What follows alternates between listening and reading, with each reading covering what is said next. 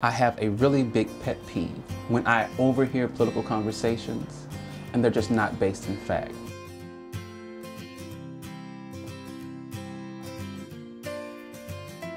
I try to inform. So I tell my students, I'm not trying to convince you to think one way, to accept or reject a particular notion.